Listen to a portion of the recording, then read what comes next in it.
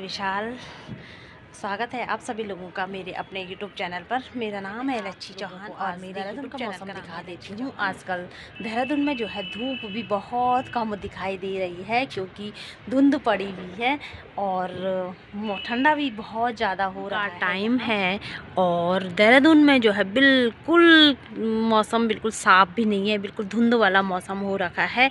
यहाँ देखो बहुत कम जैसे मसूरी वाला पीछे मसूरी वाला पहाड़ है वो तो बिल्कुल बिल्कुल नहीं दिखाई और राम अयोध्या में राम मंदिर की खुशियाँ छाई हुई है। अयोध्या ही नहीं बल्कि पूरा हिंदुस्तान का हर एक मंदिर हर एक बच्चा हर एक बूढ़े के मुँह में जय श्री राम जय श्री राम का नारा गूंज रहा है। और आज जो है सब लोगों ने अपने घरों के ऊपर एक एक झंडा जो ये ऑरेंज कलर का दिख रहा है ये सब लोगों ने अपने छत में लगा रखा है। और इस झंडे पे लिखा हुआ है जय श्री राम एक दिवाली तो वो है जब प्रभु श्री रामचंद्र रामचंद्र जी जो है वनवास से अयोध्या वापस आए थे।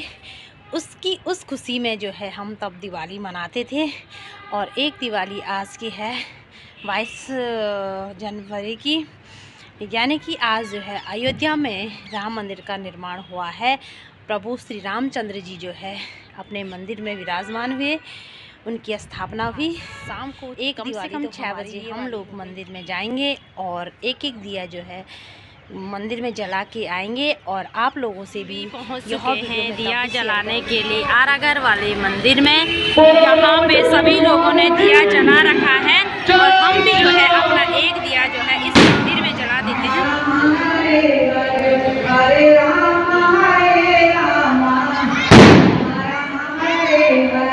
हरे कृष्ण हरे कृष्ण श्री राम जय राम